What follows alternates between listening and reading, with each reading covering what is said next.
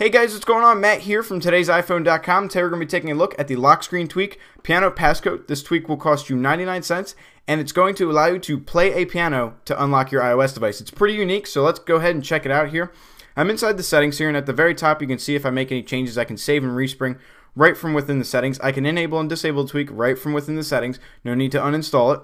Uh, and then this is the most important part here changing your piano passcode. Now, by default, it's set 1 through 7, but you can make it unique and fit however you want it to be. Um, but that's how the keyboard is at the very top. I'll show it to you guys in the lock screen in a second here.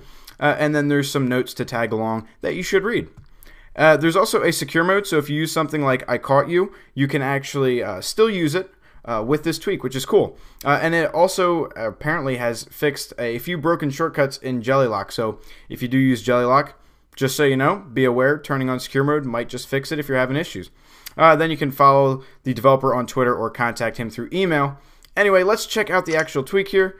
Turn on my iOS device, slide to unlock, and I have a piano. So let's go ahead and unlock the device.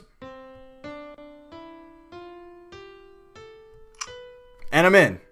That's how easy it is.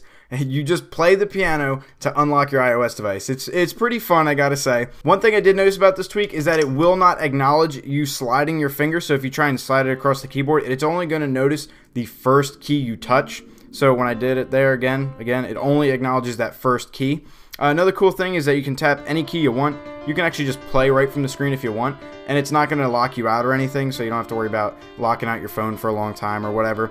Uh, and then if you go to put in the passcode and then you mess up, it won't unlock it. It you, has to be perfect in the order. So,